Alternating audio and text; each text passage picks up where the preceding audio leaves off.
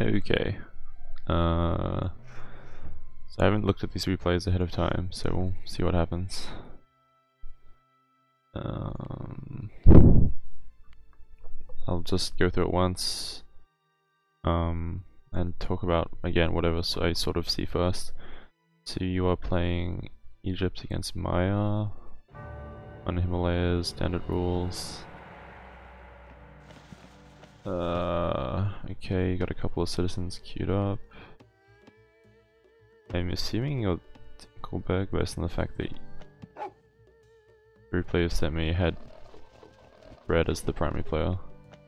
Uh, so the first thing I'm looking at is that you're not researching anything. And the second thing I'm looking at is that you're researching science second instead of first. Um, so just like ordering wise, you got to think about what your bottlenecks are.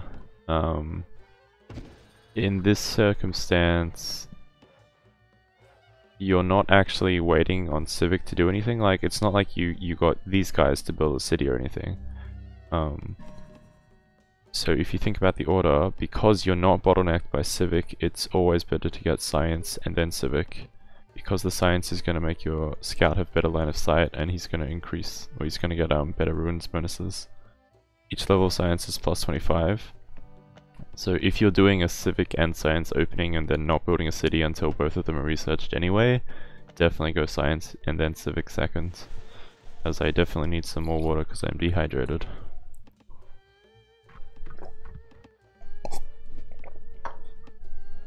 Um... I am a little concerned about the empty farms. I don't know if that's an actual strategy, um, because I, I just play China like 90% of my games, so I don't really know um, in detail what other nations use uh, for early game strategies, like economically.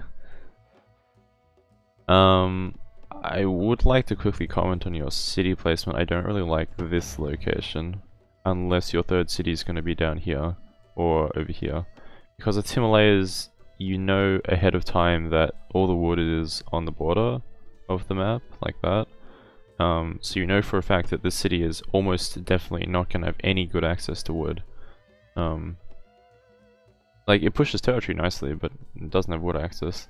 So, given that I don't think you're really that concerned about them straight up rushing you. Like, they're not Don's Romans, they're Maya. I don't think Maya has, like...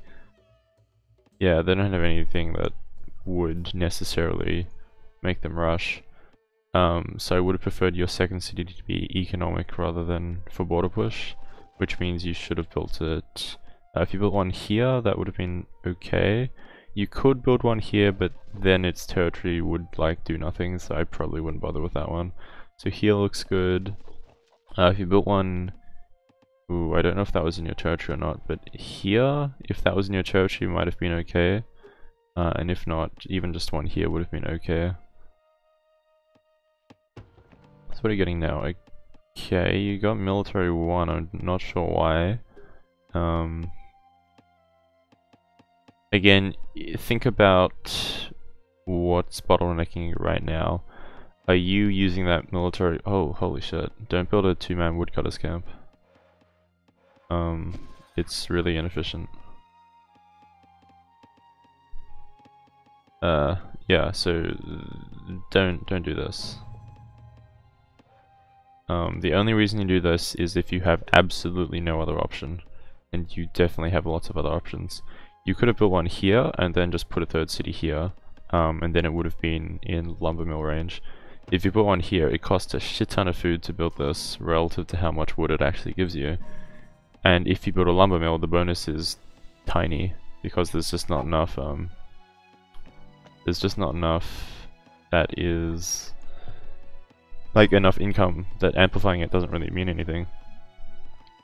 You're only slightly over cap, so I'm not going to complain about that. But I will complain about your military research again. Um, You are not hitting the pop cap yet. Military costs, or military 1 costs food. yeah, you're, you're not building anything that required you to have military 1, and you're not hitting pop cap, so all this military 1 did was actually delay your classical age. So you could have reached classical like 15 seconds ago instead of 5 seconds ago. Um,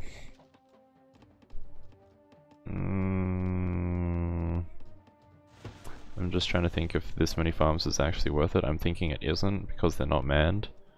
Um, you'd be better off. I think. I'm pretty sure you're better off not manning the farms. Sorry, not building the farms if you're not going to man them immediately. Um, you're not short on food. The only reason you do this is if you need food. For example, if you're trying to rush um, an age upgrade for something. But because you're not doing that, it doesn't really make sense what you're doing. Um, the other thing is you're not building, uh, well, you're not really building enough things. Like, you have all of these resources and they're not really accomplishing anything. Um, the only reason in the game to actually have resources is so that the resources can do something. Any resources which you have just sitting there are actually not doing anything at all. So you definitely want to be like, you want to pump out, let's say, five citizens from this city and just tell them to build a mine here or something. Um, and then you can go around building granary, lumber mill, smelter, that sort of thing. Probably not smelter yet because you don't have, yeah, you don't have science 3. But you get the idea, like, you always want to be trying to use these resources to build something, um, whether that's economic or military. Security McDudes um, could use a little bit more help scouting around. Again, this is his time is a resource. Whenever you're not using his time to accomplish anything, it's a waste of a resource. Um, and you always want to try to be more efficient rather than less efficient. Stables is pretty late. Also, yeah, you have this ginormous amount of food, probably because you have so many farms. Um, so you can convert this food into timber and metal by building like five citizens here, five citizens here, and then sending them to like lots of mines and shit. And building granaries and universities, well not universities, granaries and lumber mills and stuff. Yeah, speaking of universities, your universities were super late, man. Um, I think part of the reason is because he built all these farms. Um, but they're not manned. So you spent a lot of timber on the farms and then got like, I think it's 20, 20 food for completing them, maybe 25, I forget. Um, again, just that's really inefficient. Um, with these chariots, I'd recommend you like waypoint them over over here or something, so that this guy doesn't sit around doing nothing. Once again, this is a resource, his time is a resource. Um, and having him sit there and do nothing is inefficient.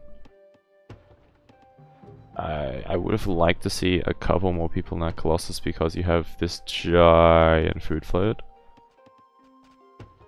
Um, what you could do also with this food is research Civic 2 and then build another city here, or build another city here, or build another city here.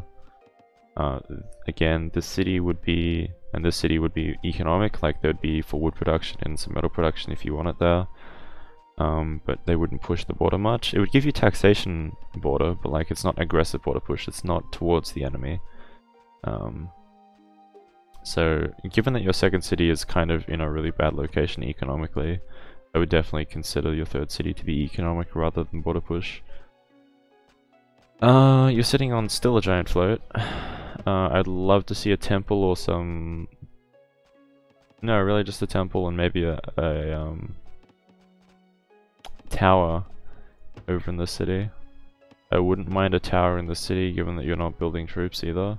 You should really be either building some troops, some light troops, or you have defenses. Um, so that if you are attacked, you don't just lose the game outright.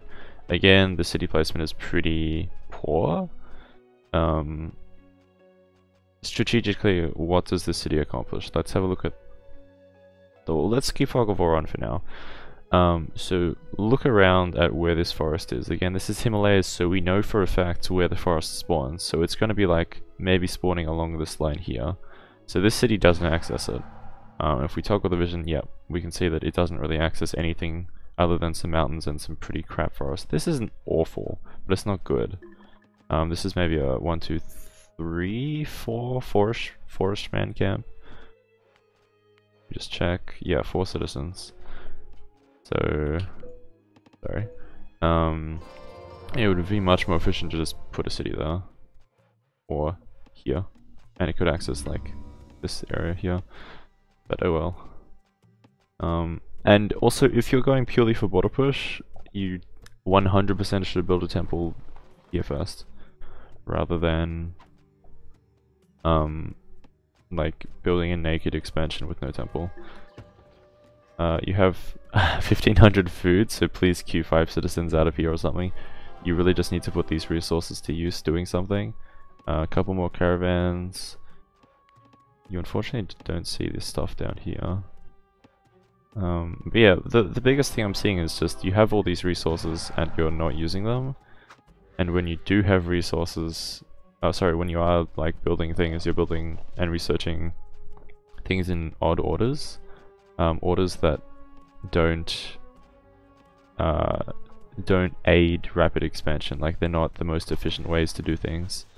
Um, and just again, for example, building farms and then not manning them, or researching civic and then science, but then not using the civic, or researching military one and then not using the military one until after you research classical, stuff like that.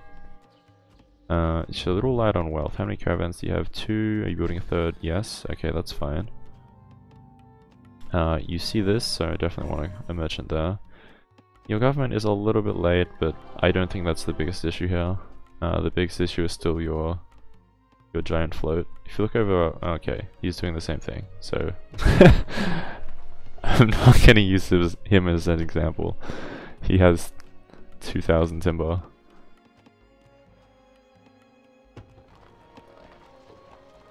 So yeah, you actually have enough resources to literally build an army big enough to take this guy over. Um, or you have enough resources to build another two cities and then completely fill them with buildings. Not not literally with 900, but like with this income plus um, the 900, you could do that. Uh, I don't love that you got Commerce 3, I think that's a waste because you're already getting Republic. Again, you just got to think about what's your current bottleneck. What is stopping you from from getting a better economy and a better military? Um, usually the reason you don't get more military is because your economy is not good enough. In this case, your economy... Uh, it, it's okay. It's a little poor for what's happening. Um, part of that's because you're not building like the amplification buildings, like you haven't built. Oh, you, you recently built a lumber mill, okay. But you haven't built a, for example, you haven't built a smelter here, you just put one down, yeah, okay, that's good. Um, you have researched that, I don't know if Egyptians get that for free, maybe they do. No, they don't. Oh, hang on. Receive running upgrades. Okay, so you didn't manually research that. I want to see you research this and this. Well, I actually want to just see you press tab and research everything you can, except the library tech. And maybe the unit upgrades. Like, I definitely want to see you have taxation in both of these. Um, I want to see you using these resources to either get science for or gunpowder or civic.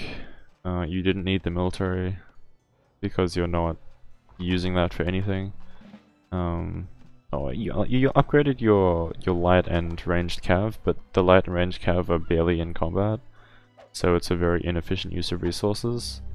The actual combat boost you got is one range cav. Um, these guys, it doesn't matter what tech level they are until they're fighting, and they're not fighting yet. So, that like this tech level is not a bottleneck until these guys are about to be in combat. So you don't need to research it yet. You can use those resources for something else. Smelter's good. Um, your income's pretty rounded right now, so that's good. That means it's a, a, really good time to build up some military. So you can grab a barracks, you can grab, you have military 3? Yeah, you have military 3, so you can put down a fort. Um, let's say you put down a fort uh, here, here would be pretty good. Because it sort of bottlenecks them, but you have access on both sides. So let's say you put down a fort here. Um, at that fort you can research the armor upgrade so that your senator who's not currently doing anything um, could give everyone plus 4 armor instead of plus 2 armor. Go over here, find out what's there. This guy's not doing anything. So that's a minor waste of resources. Again, units that don't do anything cost resources to build, but if they're not doing anything, they're not, like, achieving anything for those resources.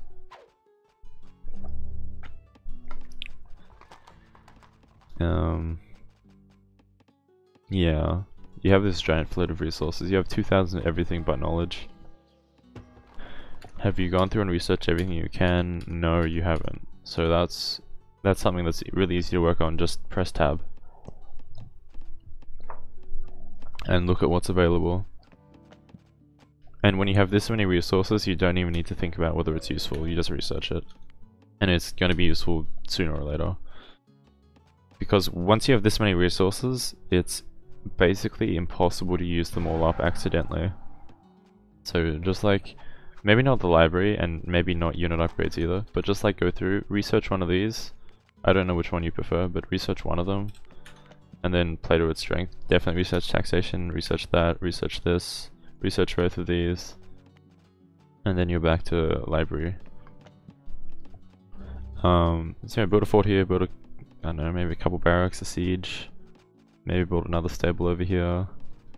Um, get your senator up over here with the fort and stuff. I hope this game doesn't last like 8 hours.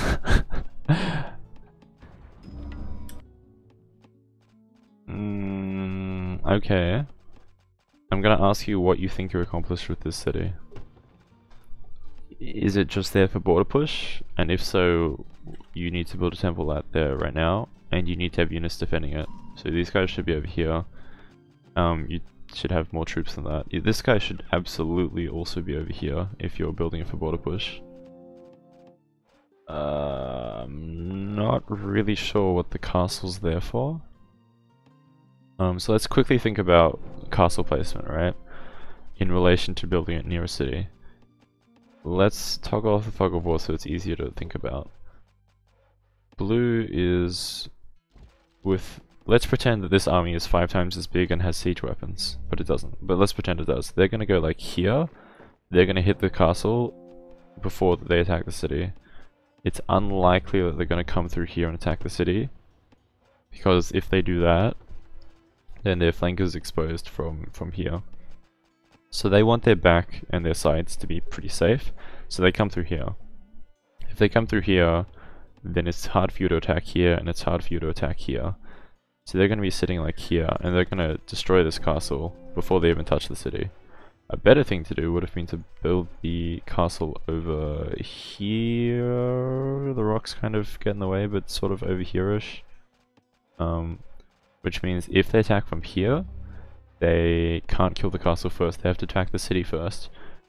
Um, which means your troops can be standing here and they can make sure the city doesn't get captured. And in that time, when they try to, when they walk up and try to capture the city, your fort's going to be shooting them the entire time.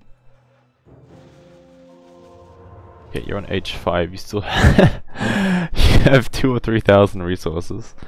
Um, so that's uh, a bit worrying. These guys should build a temple. Like, maybe not there, but around. Okay, you're building some military, that's better late than never, I suppose. Uh, this this fort's okay. uh, I thought these were lookouts for the stockades. Um, so, if you're building stockades like this, I personally, it's hard to show you because um, I can't build on top of that because you've already built stockades there. But instead of building them like here and here, like that and that, which you've done over here, um, what you can do is shift them up slightly and put them one one back, one away from the fort. Shift them towards the enemy, but push them, like pull them back one away from the fort. So you build there instead of there. You build there. Um, and the reason for that is the like these two are not going to be able to shoot very much until the fort dies. But if you put them slightly further up, they have a good chance to shoot before the fort dies. And so for example, this one, you might want to put it there. It has a better chance of, of shooting something that walks up here and walks up here. Um, and it's slightly better at shooting stuff that's directly in front. But at the same time, it's difficult for them to um, actually like siege it if it's there because when you attack a building with siege you're, you're shooting the center of the building. Um, and the center of this is like just here. The center of the fort is just there. So if they're sieging the fort then the fort is closer to them than the, the, the tower is. It's easier for them to shoot the fort first and the, the tower second even if you move the tower up. And the reason I want them displaced by one, like one square back, is just so that they don't accidentally get hit by splash damage. Especially this late into the game, um, when both players are kind of playing really slow, and like there's almost no fighting whatsoever, and you're both building militaries really, really late. Um, you got to start worrying about um, bombers and and that sort of thing. Um. Okay, so massive criticism on your army type. Um, get them all to go on your, your general dude, your patriot. Just like, select all of these, right click your patriot, so they all rally point onto your patriot, and then you can just like make them army 1 or something. Um, but as to your unit comp, uh, I'm not going to sugarcoat it for you, it's in one word awful.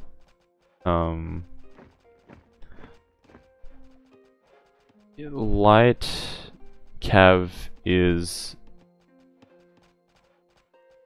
out of out of all the units you can currently build, light cav sorry, all of the military units you can build out of either of these two buildings, light cav is the worst out of all of them for a direct fight. Uh, so this is incredibly inefficient. The other thing, like you just want these to be heavy cav instead. The other thing you want to look at is you've used all the wood up because you've built uh, if we go through like all the units you can build, this is food and timber, this is food and metal, this is food and timber, this is metal and wealth, and this is timber and wealth. So you've noticed that this guy and this guy and this guy all cost timber to build, so now you have a timber shortage. Instead of doing that, you could have built heavy cav, and then you have all this extra timber. And then you can make your army like even bigger. So if, if you replace the light cav with heavy cav, maybe keep the range cav because why not? They have they have two guns and two guns is cool. Um, you can um, build an army twice the size.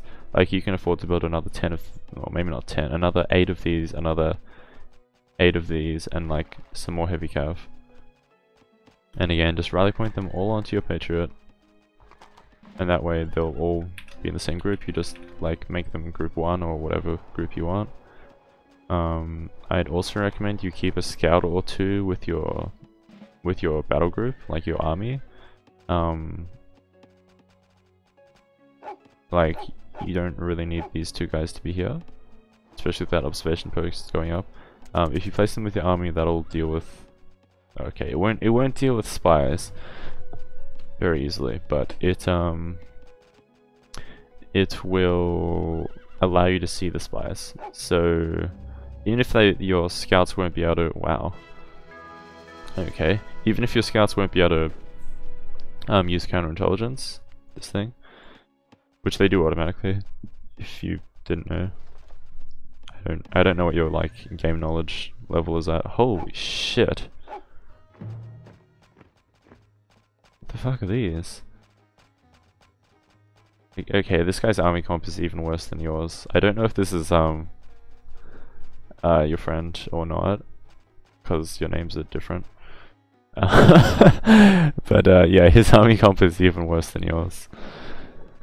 But um yeah, so biggest thing is stop building stuff that costs timber. So like, I wouldn't build more of those. I definitely wouldn't build more of these or these. Just build like 10 heavy cav, and like build another few uh, heavy infantry. And you're building, you're getting industrial, that's good. I wouldn't mind a second library. Do you have two? Okay, you do have two. Where's the second one? Okay, it's just here. Uh, that's a I okay. So quick note: uh, this is a bad place for library. Um, uh, you should have built it. Let's say here. You never want it anywhere near the combat lines because that way, if you get attacked, you don't lose the library research. Um, well, armored cars are slightly better than than either of the two cav for combat, for like direct combat, so that's good.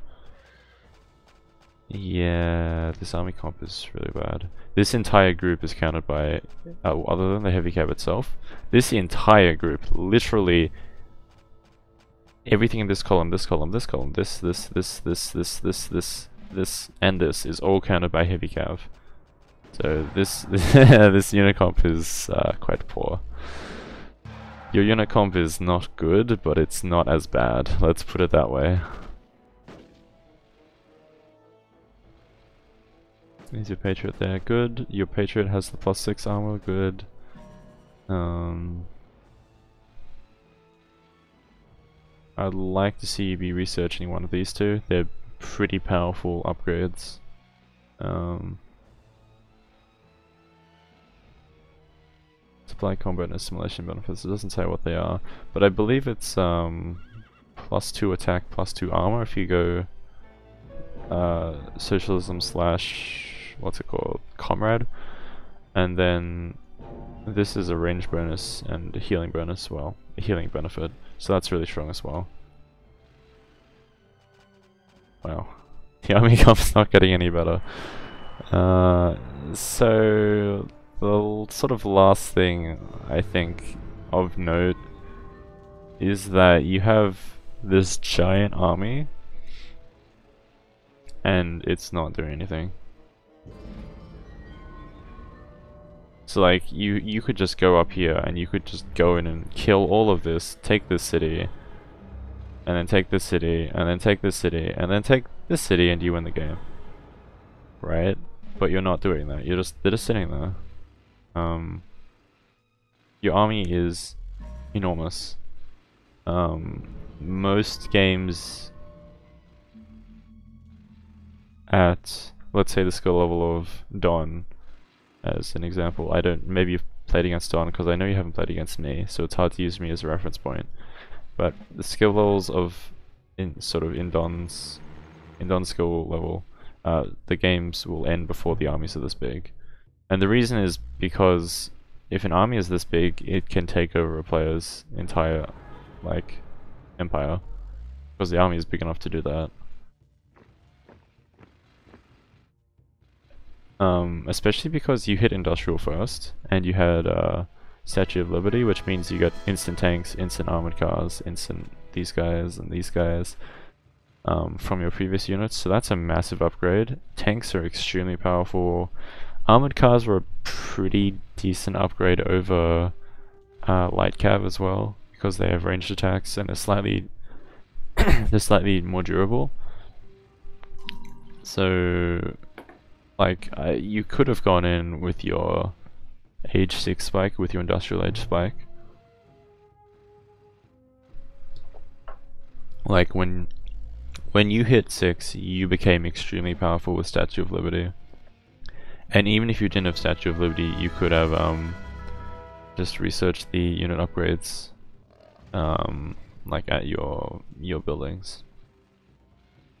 So honestly at this point, I would use 3000 wealth to buy a bunch of oil and maybe buy a little bit of timber but not much timber because it's really expensive and you already have lots of units that cost timber. Um, I would just click this, click this, click this, and then click this. And over here, I'd, I don't think you can afford to auto queue. Maybe just add one or two of these. Just click tank and infinite queue it. And click tank and infinite queue it. And then attack him. Because you have the upper hand. Um, you could actually before you attack him, you should probably research this. So just buy some oil, research that. Um, yeah, you're, you're just setting in all these units and you're not actually using them to do anything. So, units that don't do anything are a waste of resources. Your unit Why is this so damaged? I wasn't paying attention apparently. Oh, also research that to get the armor bonus. So just cycle through tab. Oh, you've been pretty good. You've researched like everything. That's good. Oh, this guy. Uh, he's still missing a lot of stuff. Okay, now your army's getting so big that it probably doesn't fit in one one group if you keep building units. That's that's my guess.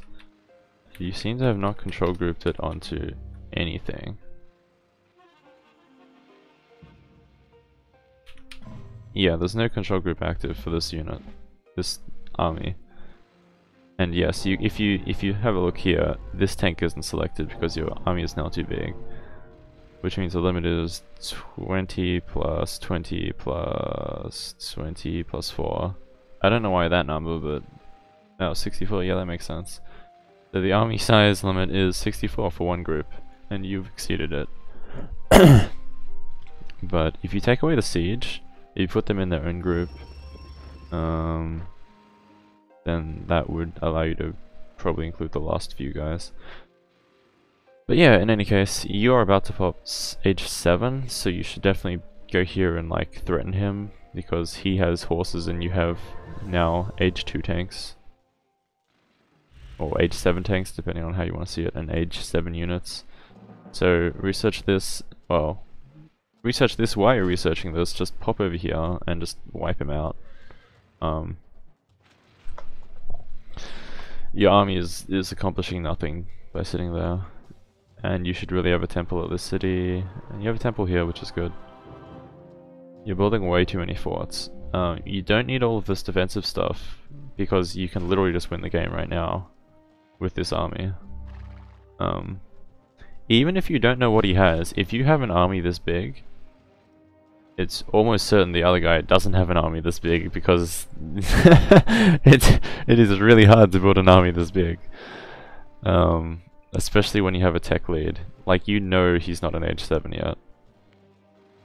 You can see he's going age 6 to 7, so you know he's not 7 yet. You know he doesn't have Statue of Liberty because you have Statue of Liberty. And you know he has less pop cap than you do because you have Colossus. You know for a fact that, like, you almost definitely have a bigger army than him, and you know for a fact that the army is higher tech you will win this fight because your army is roughly balanced. When your army comp is roughly balanced, it all comes down to numbers. Um, what's your armor level? Your if you research this, your armor level is going to be the best in the game. Um, even if he matches that, you have more you have more guys and they're higher tech level.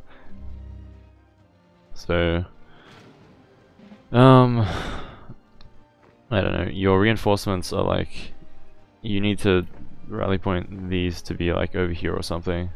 And you need these to be in their own separate group or something. Because you have no control groups. You're kind of just using your guys all together, which is not the worst thing ever. But um, I definitely recommend all of your, your siege should be in its own group. so that you can control them separately. Um, and specifically with your army formation, once you're holding down the right mouse button, you can use the scroll wheel to like change the, the layout of the army, like change how much they spread out. So right now you have this awkward one vehicle, which you can see near the front, which is on its own like layer.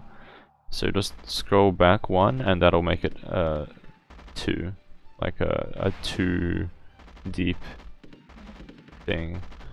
Um, the other thing is... Oh, it's not pausing when I do that. Okay, let's, let's quickly pause.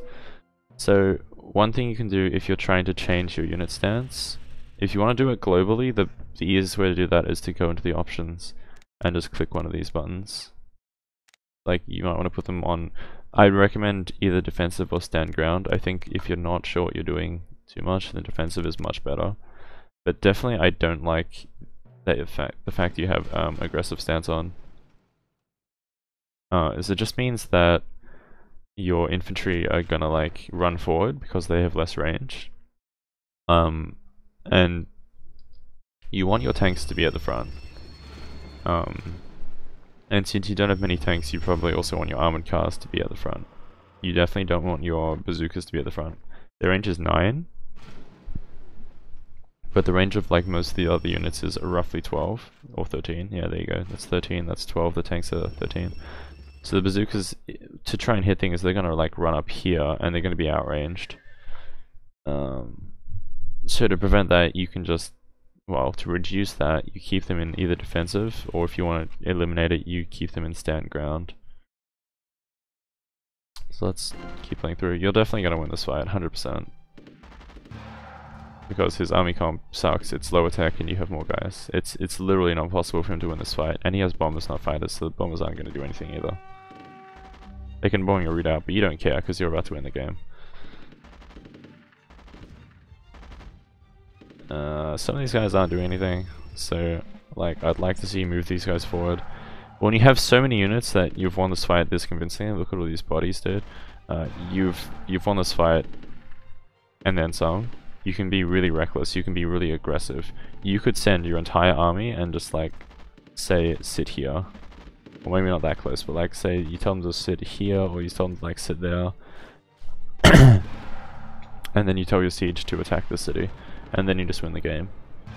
Um, a competent player on the other side versus even a half competent player on who's controlling red the the blue player can never win from this position.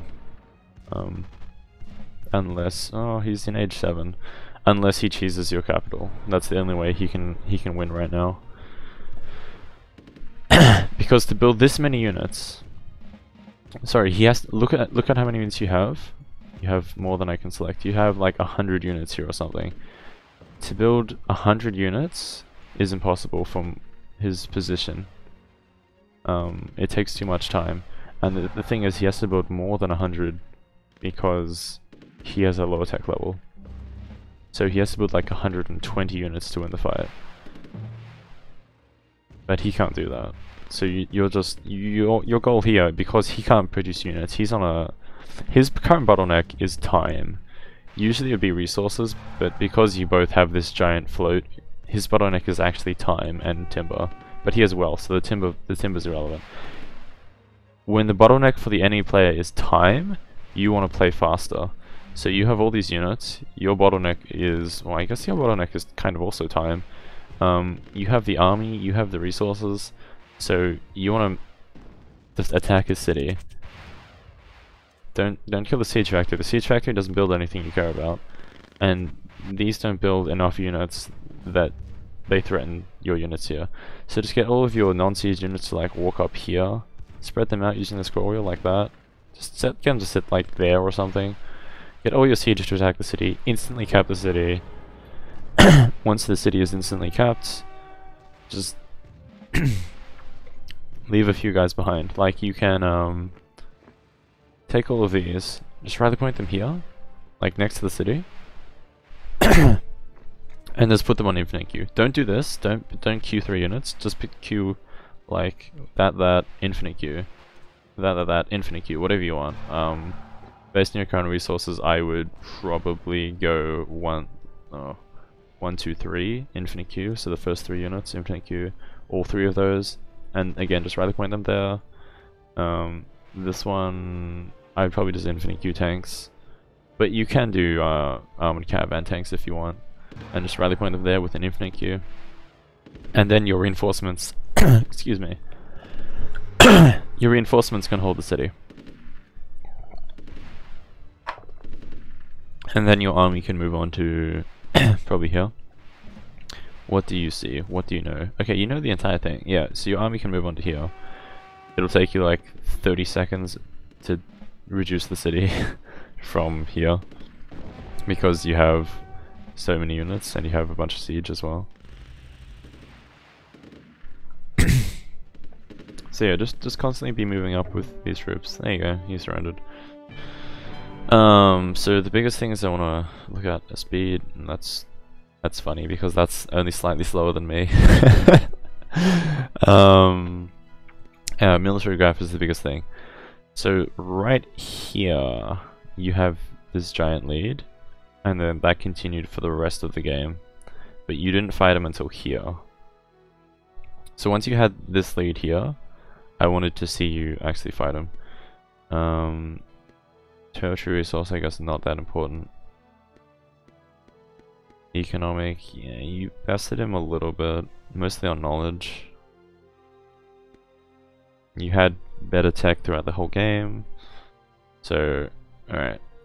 Quick recap of, of things to to work on. Um, at the start of the game, oh, I can't really show you anymore, but usually science one is the way to go. Um, your your civic and military research is sort of out of order.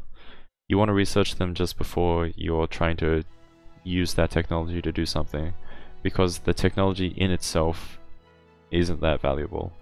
Um, the only in only these two are like inherently valuable, because um, science makes everything cheap. All the other research uh, cheaper and faster, and it makes your scout line of sight bigger, and it makes your ruins bonuses bigger.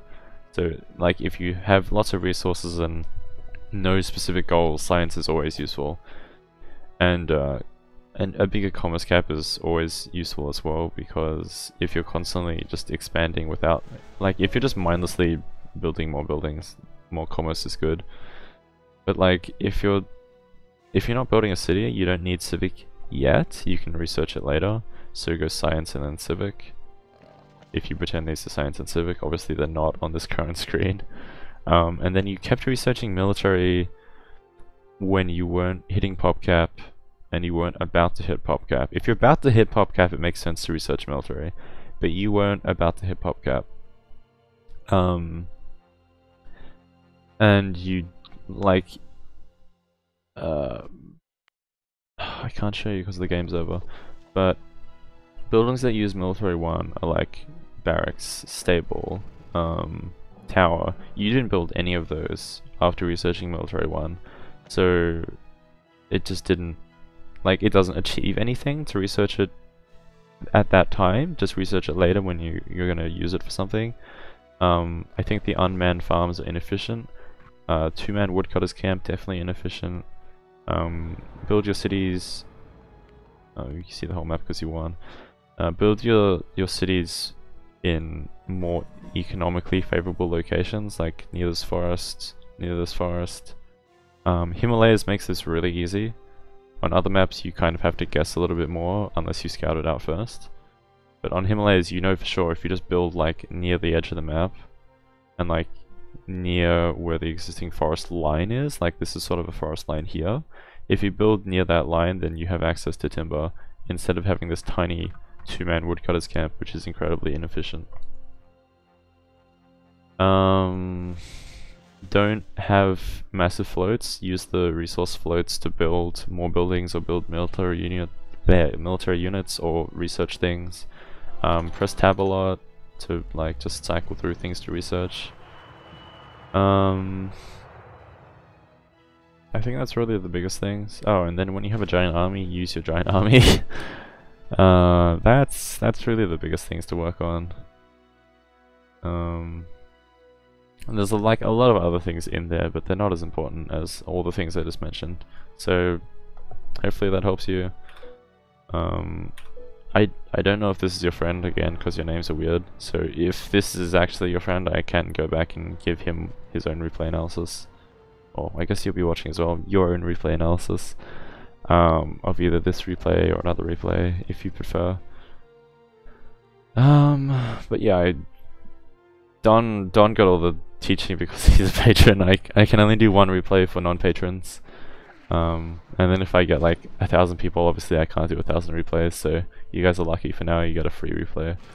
Um, but yeah, hopefully that helps. Um, and obviously I'm happy to just answer questions and stuff in the chat.